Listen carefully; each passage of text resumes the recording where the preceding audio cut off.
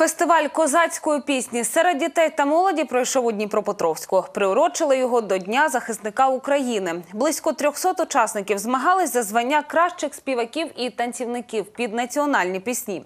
Журі оцінювало оригінальність, естетичність номеру, вокальні дані і, звичайно, настрій школярів та студентів. На святі побувала Маргарита Потапова.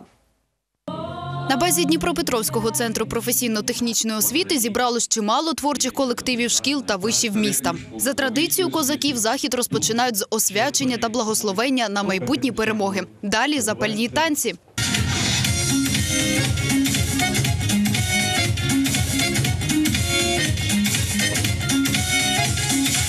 Семирічний Влад – учасник фестивалю. Хлопець каже, що козацькі пісні подобаються йому усі без винятку.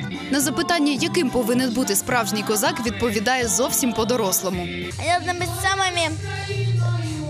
Ну, у них должны быть хорошие знания, они никогда ничего не должны забывать. Если даже они без оружия, они все равно знают, как победить.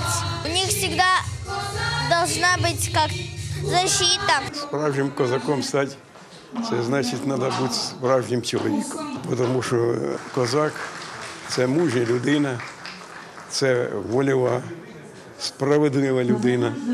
Це людина, яка любить свободу.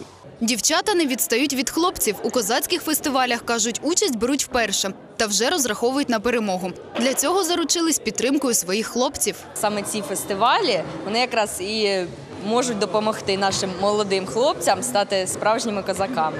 Саме плекання у покоління, що зростає любові до рідного краю та його історичного минулого за допомогою таких заходів запорука успіху України. Впевнений директор науково-методичного центру профтехосвіти Віктор Василененко. Головна завдання нашого заходу це мобілізувати учнівське середовище, мобілізувати педагогічне середовище для участі в вихованні нової сучасної людини, людини незалежної країни, людина, яка спроможна кищати нашу державу. Це вже третій фестиваль козацької пісні, який пройшов у Дніпропетровську. Організатори сподіваються, свято стане традиційним для молодих талантів та майбутніх козаків.